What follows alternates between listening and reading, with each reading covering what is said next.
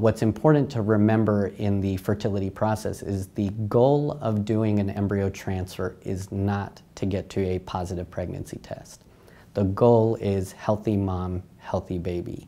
And if you put back three embryos, four embryos, or five embryos, you may get to a positive pregnancy test early on, but the ultimate goal, healthy mom, healthy baby, could result in miscarriages, pregnancy loss, preterm birth, or even maternal morbidity, meaning the uh, patient who's carrying the pregnancy could have a bad outcome, and ultimately then that wouldn't be considered a successful cycle. So uh, depending on your uh, reason for infertility, sometimes your age, you may choose to do genetic testing of the embryo.